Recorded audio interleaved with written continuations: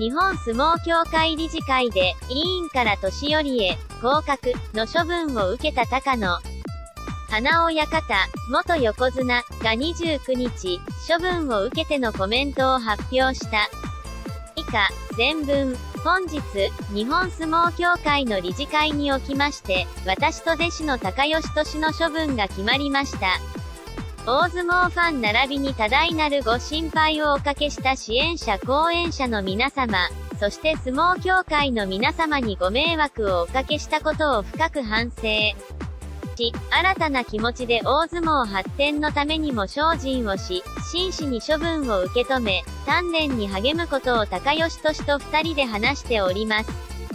今後は自分に与えられた職責を果たしながら、弟子の育成と大相撲の発展のためにゼロからスタートして参ります。